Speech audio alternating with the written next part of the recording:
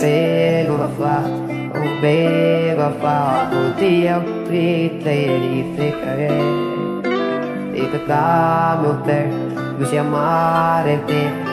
ho già tu बेफिक्र यूँ अकेले ही अकेले कुत्ता जा रहा मेरा दम जो मिलते नहीं कभी उन दो किनारों पे है हम बिन तेरे तो अधूरी एक कहानी है सनम। क्यों जो जितना करता ज़्यादा उसको उतना मिलता कम।